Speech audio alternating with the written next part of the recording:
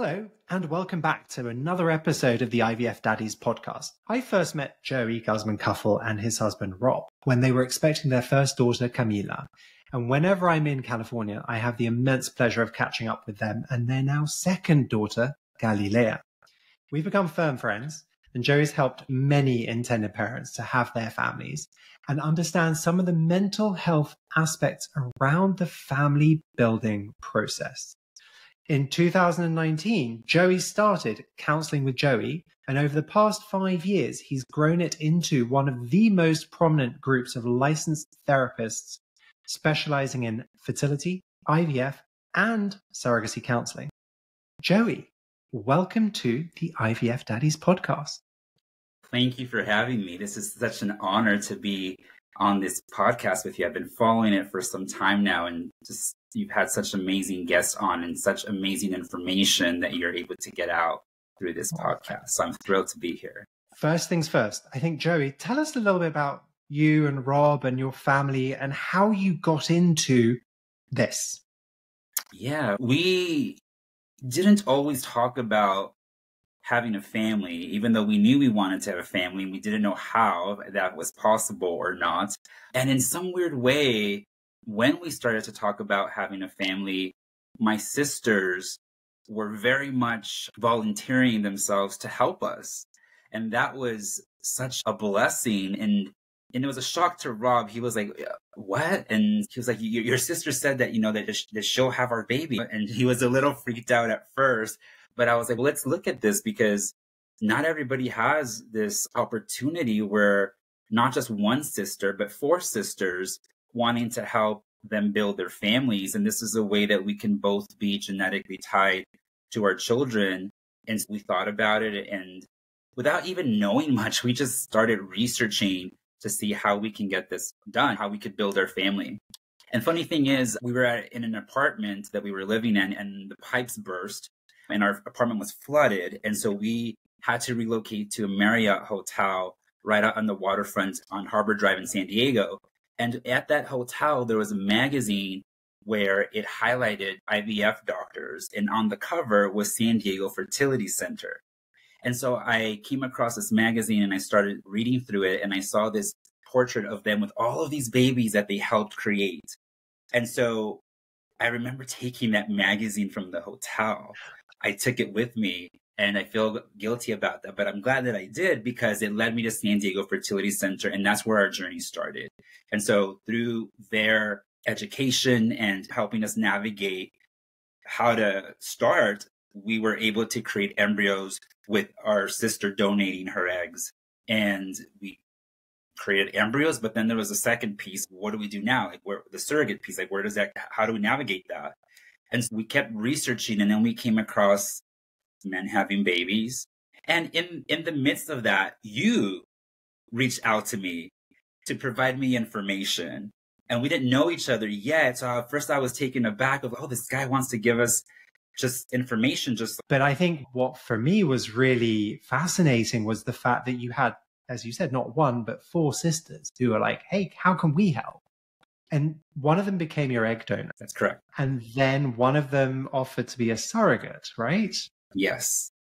So how did that go? It was challenging in the way where I was really worried about what this entailed for them, but also what did it mean for our dynamic and our relationship. And so with my sister who donated her eggs, we sat down with her multiple times. I sat down with her multiple times as well to talk about the expectations around the egg donation and what did that mean for her and what did it mean for us and our relationship and the child that would result from that donation. And so we probably talked about over a hundred times before we got into the actual process because I really wanted to make sure that she was certain. I and I also wanted to give her any opportunity to be able to say, I don't feel comfortable doing this because I was very mindful of her not feeling emotionally coerced into doing this process for us because I'm her bro- her big brother. And for her to say no to me especially when she knew how much we wanted to have a family I, I I was very mindful of giving her the space to say no if she did not feel comfortable Um, and I think that's amazing. Setting expectations, boundaries, managing the the process. Almost, I, I, I would assume, you know, with your background, you were able to navigate that. But it's still pretty. Those are brutally real conversations that you have to have, right?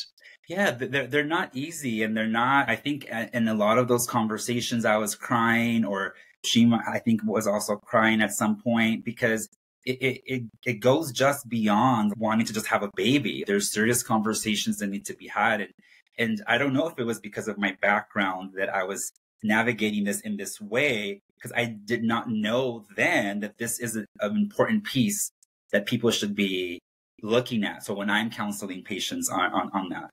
But like I said, it, it was very emotional. We came to an, an agreement. We felt comfortable moving forward. I'm so I've been just indebted to to to her uh, for donating, you know, her eggs uh, to us to help us build our family. So everything worked out with that piece. And just very quickly, did you sign a legal contract with her? How did that part work? Yeah, so even if you're using a known donor, a family member, or a friend, a legal agreement is important and required you want to understand what you both are agreeing to and you know it's just it's easier to have a legal agreement in place. It'll make things a lot easier for everyone and it's very clear what someone can do and someone someone cannot do. And so in our conversations we decided on a few things that would be particular to our agreement. For example when it comes to disposition of excess embryos um, one thing that my sister was very clear about is she didn't want us to donate those embryos to other people because she was doing that exclusive donation to us. And so that was something that I understood, that my husband understood, and we respected her wishes with that. And, and that was definitely in our legal agreement. So then, so you've then created embryos, that part's done. You feel, I'm assuming, some form of, wow, great, yeah. now what? Yeah, now what? And so then comes the, the surrogate piece. And like you meant, one of my sisters did offer to to be a gestational carrier. And it was the only one who could be a gestational carrier because she was the only one in my family who had three children and she was done having children. And she was the candidate for us. And that also deserved a lot of conversation. I think there was conversation for over a year about the possibility of her carrying our child and she was very willing to do. And at the time, she was separated from her husband. And so one of my questions to her was, what happens if you get together with him again? Like, how does that affect like our process and moving forward? And so she was dismissive of that piece because she didn't feel like she was going to get back together with them at that time. But then she did get back together with him. So good for her. Um, but her husband was not on board with her supporting us in that process. And as we continued to follow up with her, I felt like we were getting like the runaround and she kept saying things that would prevent her from moving forward, but she wouldn't tell us, no, I cannot do this. And right. so one day my husband and I just said, let's just go and have a talk with her. Let's review this, but also let her know if this is not the thing, for you if you cannot support us in this way because you've changed your mind or because it's going to affect your relationship, then it's okay. And so this is where I got to feel or, or, or, really experience that emotional coercion type of piece. Like she wasn't able to tell me no. And when we sat together, she was across the table from us. She was crying, but she wasn't able to say no to me. And so then I took it upon myself to say, you know what, sister, thank you for considering this but it is okay. It is okay. Right. It is okay. And I was disappointed, but at the same time, I was relieved that I didn't want her to feel this pressure to have to do something for me, even though I know from her heart that she really wanted to do it, but the circumstances of her getting back with her husband just didn't allow her for that. And so right. we had to move forward with working with a surrogate that was unknown and from an agency instead of being yes. a family member. Yes. Right. And I, I, guess that must help you with that firsthand experience of having a sister offer and go through with it, and then having a sister offer and then not being able to go through that must in, almost empower you in your conversations. In my conversations as a therapist? Yeah. Oh, yes, absolutely. I, I, I draw a lot from my personal experiences, even though I don't force them down people because everybody's situation is different and, I, and my situation is not their situation. But I will, with permission from clients, I will insert some of my personal experiences to give them perspective of what it could be for the other person. Again, when we are going into this process wanting to have a child, it's because probably already thought about it for so long. Maybe we've been through a very difficult journey and, and we're here and all we're thinking about is we just want to have a baby. And sometimes we may not be thinking about what is the experience for the person who's helping us through that process. So you've almost got to put yourself in their shoes. I think that empathy sometimes, as you point out, gets lost because you're focused so heavily on what you want and exactly and not and the outcome versus maybe the process. Mm-hmm. Um, very quickly, you have mentioned something there that you're a licensed therapist. So in your in in in the sessions, what is the difference between a licensed therapist, a mental health provider, a psychologist? What is the difference? A, a, a psychologist and a marriage and family therapist, licensed clinical social worker, et cetera, et cetera. We're, we're all mental health providers. Um, but the difference between a licensed therapist and a psychologist is definitely the amount of schooling that you have. Um, a psychologist requires a doctoral degree, whereas for a marriage and family therapist or other another type of licensed uh, therapist, we need a master's degree, uh, specializing in mental health and some type of psych- psychological work. And so okay, those are the differences.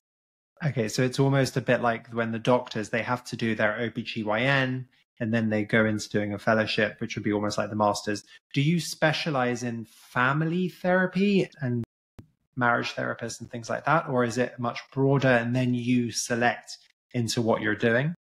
So, my program was counseling psychology with an emphasis in marriage and family therapy. So, a lot of my training is around relationships and individual therapy, family therapy, couples therapy, a lot of relational work, and also just looking at mental health disorders and, and being able to identify and diagnose and being able to form treatment plans. And so it's that's the type of schooling that I and training yeah. that I have. Amazing. Do you, in your sessions with parents that are coming on board, does it ever turn into almost like a family counseling, like a marriage therapy counseling session versus talking about children? Or do you, what happens in one of your sessions? Yeah, certainly. First of all, when they first show up, I have to address what the intended parent psychoeducational consultation is about. Because a lot of the times they don't know what to expect, or a lot of times I am met with a lot of defensiveness or sometimes anger because they believe that I am going to evaluate them and keep them away from the thing that they want to do, which is building a family. So I start off by addressing the purpose of the psychoeducational consultation. And I do give them a glimpse of what are the things that we're going to be talking about. And I also tell them, I'm not just a therapist, but I'm also a person that identifies with your experience because I've been through it. I've been through two surrogacy journeys. And even as a mental health provider, I still have to sit down with a mental health provider to go over things that we're going to be talking about today with the hope that they can understand that it is a safe place for them to share things with me about what we're going to be talking about. And my hope is that can bring down some of the defensiveness. And I also need to let them know that what the language is for that specific meeting that we're having, because a lot of the times they are sent to us letting them know that they, they have to see, it's going to be an evaluation you have to meet with the psychologist, you have to meet with the mental health provider for an evaluation, an intended parent evaluation. And when we're meeting with intended parents, we're not doing any psychological testing. We're not really evaluating their mental health. We're we are educating them on the process of family building through third party. We are providing them with information so they can make informed decisions about their family building process. The more information that you have, the better it is for someone to navigate the complexities with the process. I, I will say that for me, even as a therapist, having met with somebody else, it did clarify a lot of things and it debunked a lot of con- like misconceptions around the process. It, it was eye opening. And even when I went through my second journey, having been already in this field, I still learned a lot more. We're trying to help people understand what this journey can be like. Are you prepared for these other things that you're not thinking about? For example, when people are making decisions about a donor, what type of donor are you going to select? What is important for you in, in that process? People focus very much on tall, blue eyes, just the phenotype and, and the genetics as well. But they don't understand that there's different classifications of donors non-identified donors, non-identified donors with open identity release, or even just ident- uh, directed identified donors. When people just, come to me, sorry, they don't know what that is. Yeah, I'm like, what is that? yeah, if you're working with, if you're wanting to work with a non-identified donor, that's someone who you would before know as an anonymous donor. It used to be anonymous. It's not now non-identified, or I believe it was semi-open, and I think now that can be seen as non-identified with open identity release, which means that they, they may be anonymous, quote unquote anonymous, for maybe 18 years. And then, then once the child turns 18 years, then that the identity of that donor will be released to the donor conceived person. And then a directed identified donor someone like myself who use my sister or use a friend, someone who you know, or it can be someone who you don't know, but their identity is identified. You do have all of the information to be able to access and, and contact them if so. So that's amazing. So you'll talk through some of the potential thought processes on selecting one type of egg donor. Yes. So those are some of the things that we discuss so that they can make informed decisions about why are we choosing this type of donor. Because the thing about that too is that your decisions about choosing a donor will have an effect or impact on your child. And so you really want to think about how is this going to be for our child if we don't have any information on this donor versus having information on this on the donor. Um, we don't think about that, or a lot of people don't think about that. And sometimes I get into parents who might say, "We selected a, a, an anonymous donor because we were told that's the easiest." And when I start to share the differences and give them information on how this could possibly affect their child, they have that aha moment. Oh, we did not know that. And that is important for us to have considered prior to making that decision. And I think that's really important. In informed choice, I'm always about educating. Like when we first met, it was education about the process and the pros and the cons and how does this work. The whole ethos behind this podcast is exactly that. It's education so that people are able to understand hey, this is going on. What am I supposed to do? And to at least have a picture of the landscape and therefore the choices and options available to them, right? Yes, indeed. So, what are some of the other topics that you may cover in one of your sessions? Like I said, so donor selection is one.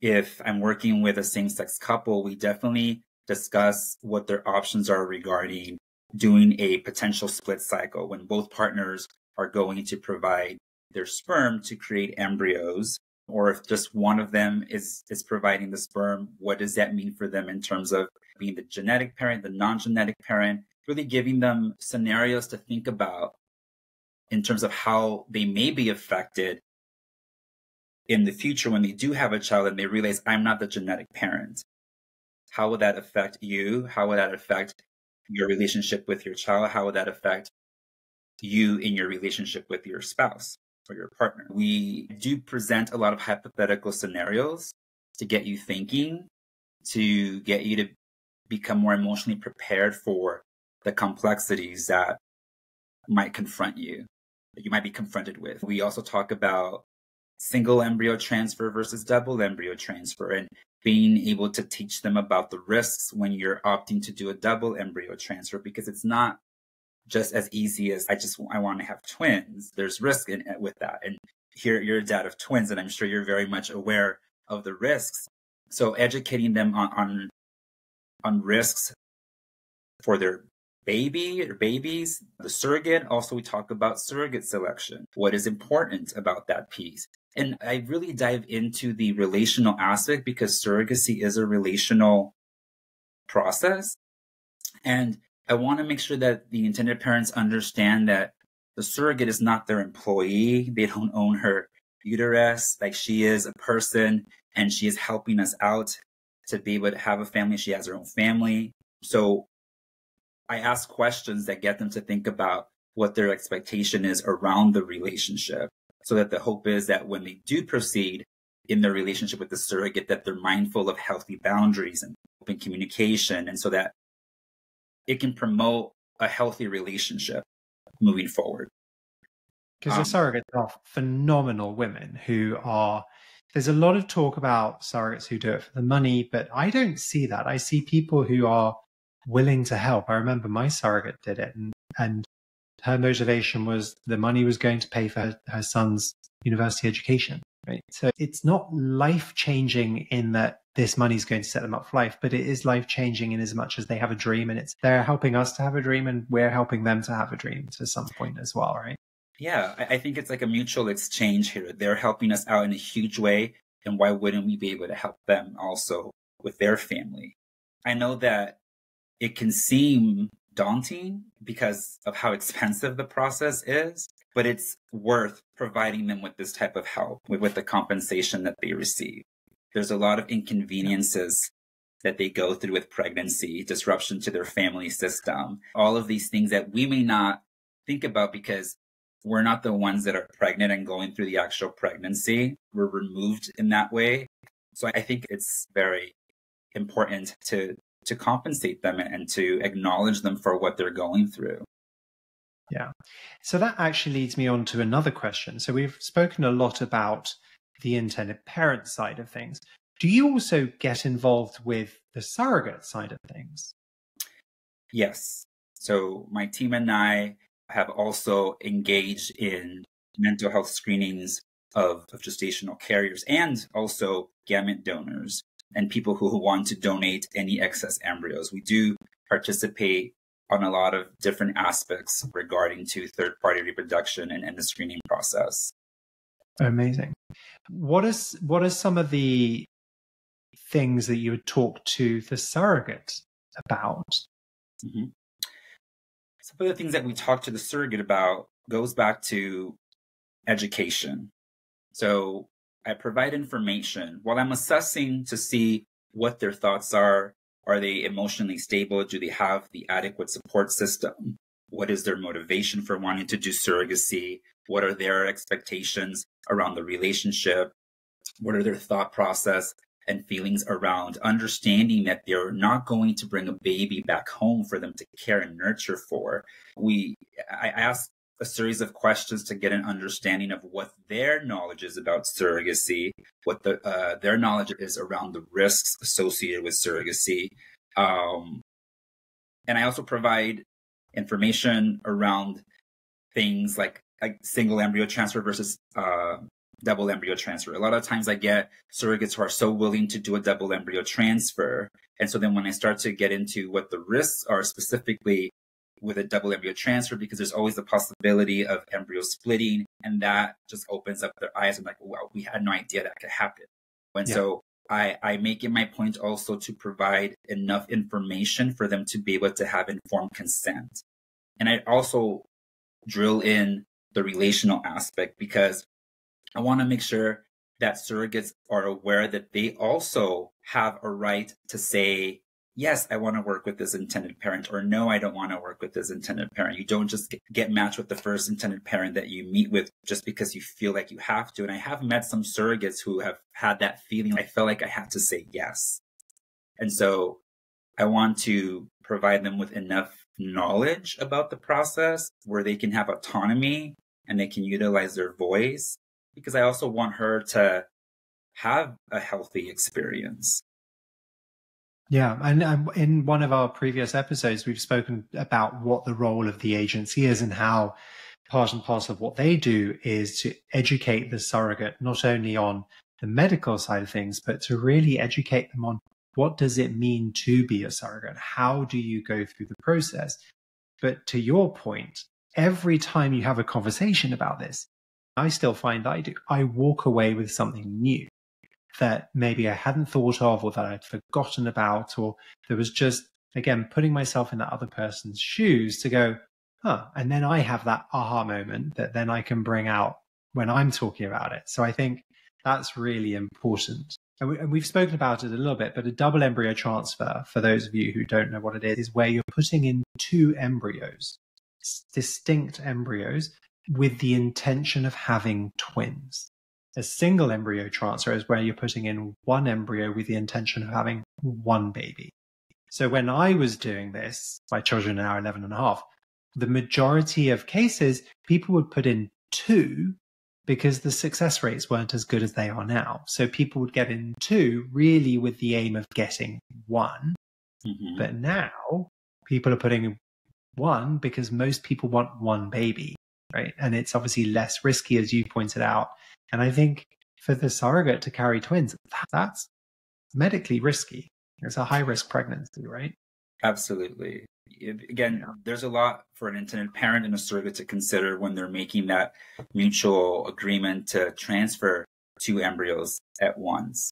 The surrogate can be more predisposed to developing gestational illnesses that can complicate the pregnancy. And so, what does that mean for her? What does it mean for the development of the babies? Or if, if the babies are born before time, what does that mean? It, it could be a very emotional, distressing experience, both for the intended parents, for the surrogate and her family, and the babies. It's just it's it's challenging. Now, I will say that I've learned something about a double embryo transfer, and so when my husband and I did our first journey, again, we didn't know much, but our desire was to have more than one child. And because of how expensive the process was, our thought process was let's do a double embryo transfer. We can have twins, we have our two children, and then we're done with the process. We don't have to go through this again. And so that was our line of thought. And we did a double embryo transfer. And we knew that there was a possibility of embryo splitting. But in all honesty, like most intended parents that I interview, I pushed that to the back. I was like, the statistics are really low. It's not going to happen. We'll be okay. We had other friends who had twins. It's it, it'll be fine. And we got confirmation that we were pregnant, and that was very exciting. And the numbers were doubling really quickly, very high. And so when we went in for our first ultrasound, our surrogate already knew because I could, I think she had like, a, like a, an expression where she already knew something. But when we were on the call, they're like, yeah, so we were pregnant with triplets. And so then everything just starts coming back. The possibility of embryo splitting, the risk, all of the decisions that we talk about.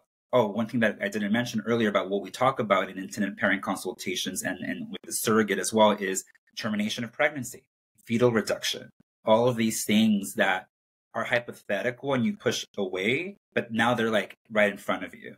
It's almost like it's a statistic until it happens to you, and then it's binary. It's almost like when it happens to you, it's either is or it isn't, right? It goes from being that statistic to binary, yes or no. Exactly. Exactly. So we were confronted with this situation and our surrogate was such a champ. She was like, Oh, I got this. It'll be good. I can, she really made it easy in the way where we didn't feel pressure like we had to make a decision, but we knew we had to talk about making a decision. And while a couple of weeks were passing by and I kept talking to my husband, what do we do? What does this mean? I know that we wanted to have more than one child, but we were thinking two and now there's three and how are we going to handle this? And what if there's complications? It was just very distressing. And my husband and I have different ways of processing things. That's another thing you want to think about when you're in your relationship is you may not be processing the shock or the emotions in the same way, and that can cause tension in a relationship. And so I definitely had tension with my husband because I was very like emotional and he was not, and and I was perceiving him to be a certain way. There and, and so that was challenging. But at the end of it all, at week I believe it was week eight, the one of the identical twins, the one that split, did not continue growing after week eight. And so they passed away. Yeah, that was hard. I just rethinking, I just lost my breath there. Um, yeah. And then at week 11, the other baby passed away. And so that was hard. And it was hard to accept that, that they were there and then they weren't. And then all of a sudden there's this big rush of sadness and grief there. And then there's also worry uh, and, and just feeling fear for is the other baby not going to make it? And then feeling excitement because the baby is doing well, but then feeling guilty because we're happy. And then, but we lost these other two beings. And that in itself was not easy. It was not easy also because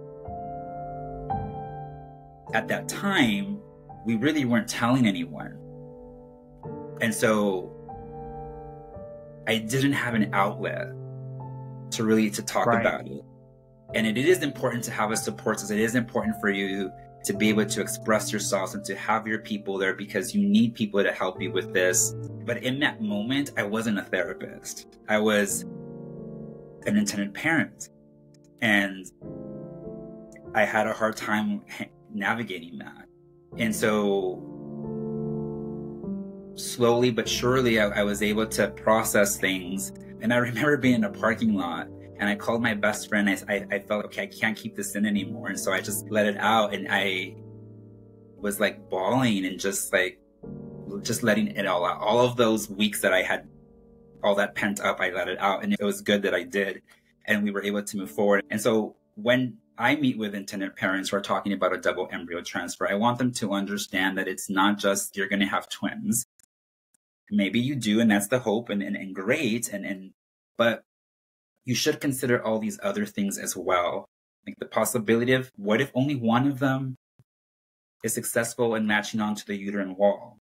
And you thought you both were going to be the genetic parents. But what happens if they both latch on and one splits and then you have a situation that is complicated? I you nearly made me cry. That mate, that must have been so tough. I'm really I'm sorry that you went through that. Um, yeah. and that you didn't really have that support system around you. I think that I know you and Rob are amazing and I know that you have an amazing relationship, but to know that at that moment in time probably felt very alone. But I think that also informs a lot of that empathy that you have for other people to bring that landscape thing again to what you're saying. You're putting in one or two. This could happen. That's huge. And this is my experience is the motivation for me to have transitioned from practicing in mental health treatment centers to, to working in third party. That, and of course, Dr. Park. Dr. Park was such an advocate for me to, to work in third party, to help people who struggle with things that were similar to mine, having the educational background with psychology that I do. And so she really was also such an integral part of me taking that leap and, and switching over. And I'm, I'm, glad that I did. And I, I also tell my husband all the time, I'm, I'm so blessed and I'm so thankful for our experience, as painful as it was, because now I get to do something that I really love. And so I always thank my daughter too, because I say, because of you, I was able to, to do this now. And it has afforded me just a lot of flexibility as well to be able to watch my daughter grow. If I would have stayed working at a mental health treatment center, I don't think that would have been possible. Um, but being in private practice does allow that for me. But again, I, I, I want people to understand that there's a lot more that goes into this process than just the thought of we want to be parents and I want to have a baby and I want to transfer two embryos. Like there's more to think about. And I think I say this every time I see you guys. You're amazing. I think oh. what you do, what you bring, just the way that you interact with the people that I see you interacting with, you bring that humanity back into what can sometimes feel like just a process. And getting people to understand the steps in the process and how it works. You're amazing. Thank you. Thank you for saying that. I, I feel the same way about you with all the work that you do and how you help people. I, I just, at, at the end of the day, we're all humans and we all have feelings. And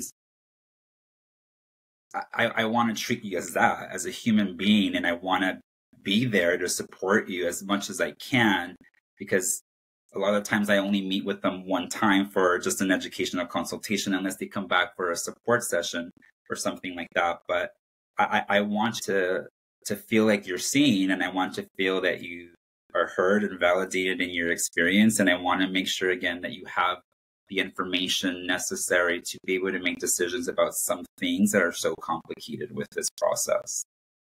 Yeah. So you touch on something very important there. It's there's just a one-off session or can it be more if people need that support? How does that work?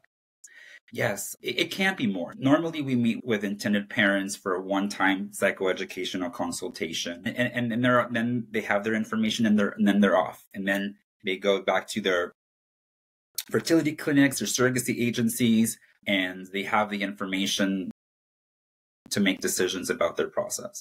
However, we offer to agencies, fertility clinics, and just the people that we work with, we offer them the ability to come back for support sessions. If you need support navigating difficult decisions, and then we're there and, and we would be able to, to help you. We can set up appointments to meet, to be able to talk about what your experience is and understanding what that is and highlighting some things that would be important for them to look at that maybe it's not very clear for them. And so we we do offer support sessions. You're amazing. I think on that, Joey, I'm going to love you and leave you. But again, you are inspirational. You motivate me every time I talk to you to do more, to do, be better, to become more empathetic. I think you are probably one of the nicest people I know. Thank you so much for, for doing this. Give my love to Rob and the girls. Um, and I hope to get to see you soon in person. Thank Will you. do. Thank you for having me on. It is a pleasure to speak with you always. Lots of love to you and your family as well. And thank you for all the work that you do and all the awareness that you bring around family building, third party reproduction, surrogacy. It's amazing what you do. So kudos to you as well.